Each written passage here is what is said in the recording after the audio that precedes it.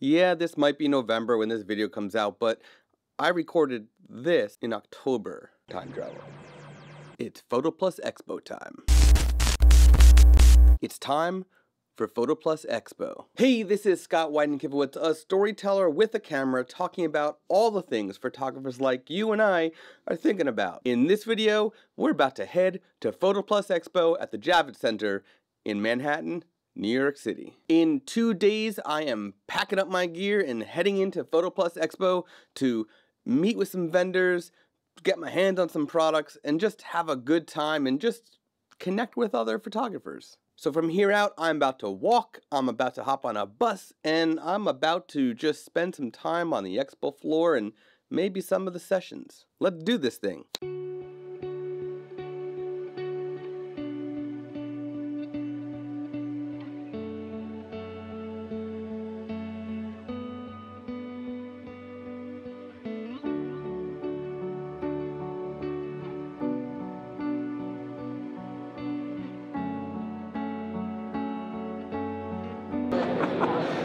Hi,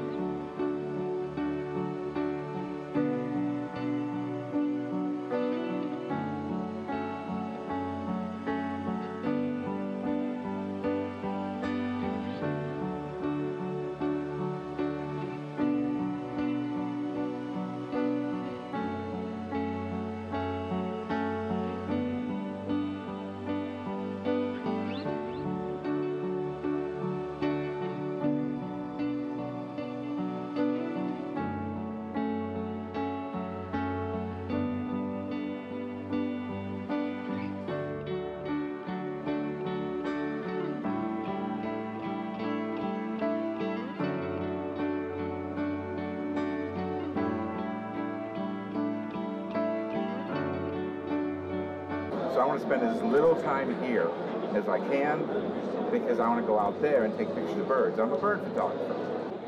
So, um, thank you, thank you. So, you know, I am really about telling the most powerful stories. Um, I think we're at a really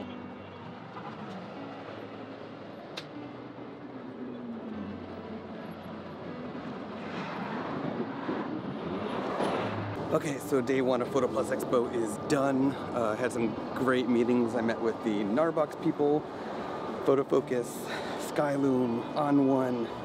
Got to see my friend Tamara Lackey, Brian Matiash, Colby Brown. Uh, had a lot of just good social uh, gatherings and talks, and then I had a meeting with BenQ and uh, Spider Holster and and so on. And now I am heading back to the bus station so I can hop on a bus and go back home. And uh, I have a feeling I won't be getting back till late because it's gonna take a while to catch the bus and then to actually the hour bus ride back or whatever. Here's a horse. So I will be able to get my hands on some of the products that I got to see today, uh, got to try out. I finally did get to try the Z7. Tamara let me play with hers. Got some funny video footage of her and her husband um, on her camera, on her memory card. Uh, but it was cool to be able to actually get my hands on it. And I'm looking forward to potentially trying out the Gnarbox, uh, doing a review of a new BenQ monitor, that's beautiful 4K HDR monitor, potentially some other stuff. And uh, might have made a cool connection for a spider holster. Would be kind of nice to have been able to have been a part of. So yeah, so many uh, good things and it's only day one. We'll see what day two has for us. I almost forgot to mention a mistake that I made, which uh, my little tabletop tripod, which I often use for vlogging, because I can hold a tripod instead of the camera, which right now I'm just holding the camera. I had it for the karate test uh, video that I was recording earlier in the week, and I forgot to chew it, put it into the bag that I was bringing to the photo show. So I don't have that. And that uh, just mean, meant that I'm holding the camera in a different way than I would usually for something like this, but it's not the end of the world, it's okay. I can get by. And tomorrow I come back, so maybe I can bring it tomorrow. And uh, that's that. Note to self, don't forget stuff that you wanted to bring to an event. Make a list. Okay, day two of Photo Plus Expo. Recording this on my phone right now. I'm at the bus stop waiting to get in. A lot of trucks going by on this beautiful, cold fall day. Uh, it's about 40 degrees right now. You might be able to see the steam coming out of my mouth as I talk.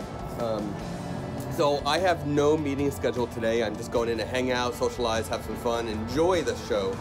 Uh, I do have one coffee meeting, but it's not really a meeting. It's just coffee. um, should be fun. And uh, yeah, we'll see. I will be uh, getting some more video footage and stills. I'm to go on the photo walk later for Photo Focus, which is at like 7 o'clock tonight.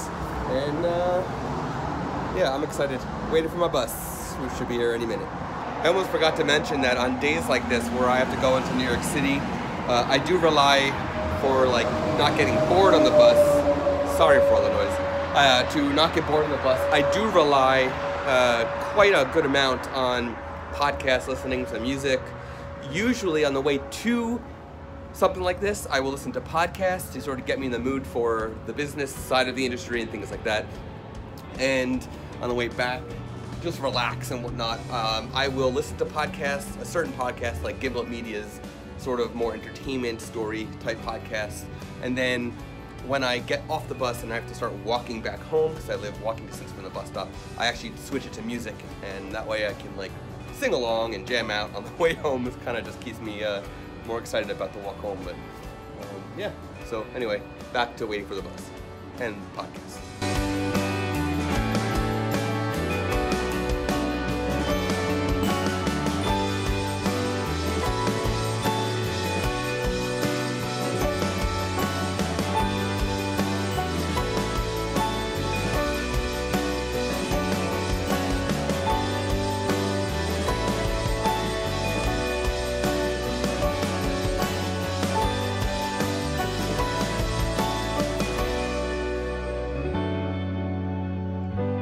And sometimes in, in certain situations, especially when I'm using this little spotlight effect, I don't have to add the vignette.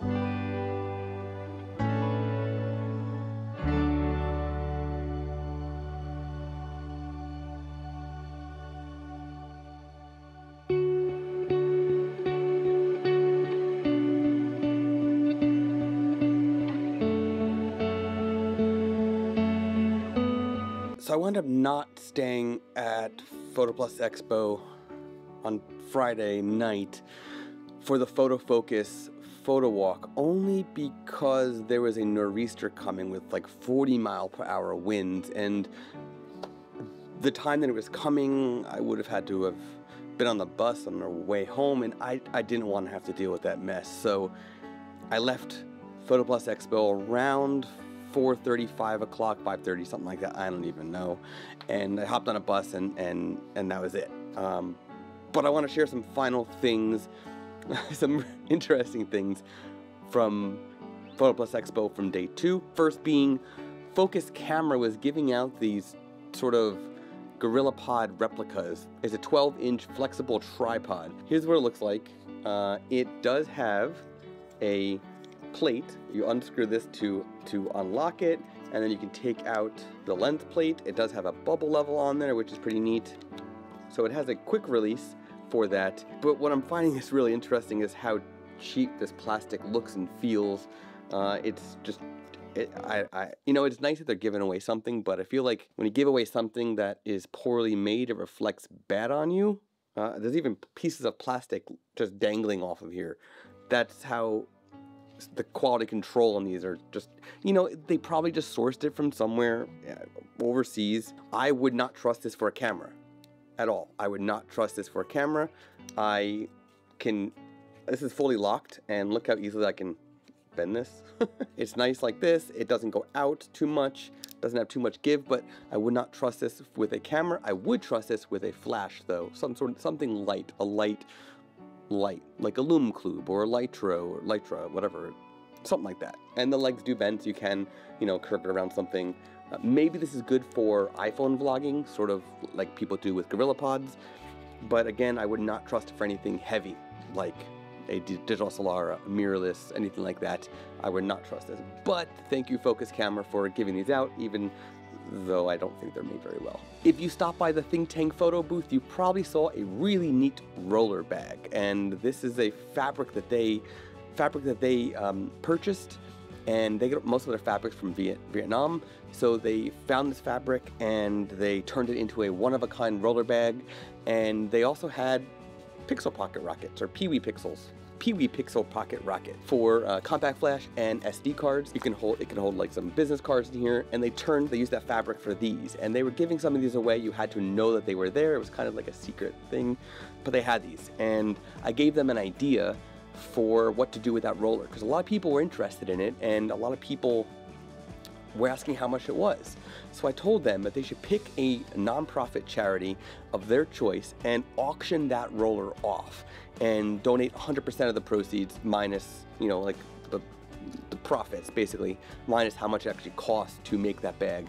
Donate that to the, tra- the charity, you know, donate the, the profit from the bag and then sell these for the um, same amount that they would sell these normally in the normal fabric colors because these are really fun. I also got to see Rafael Pons from Photopills. I happened to be at the Nikon booth at the time and he saw me and he came up and had a really good conversation about the future of Photopills and I'm really, really excited about it. Really cool to meet you, Rafael. Right as I was finishing up the day, I stopped by the Panasonic booth.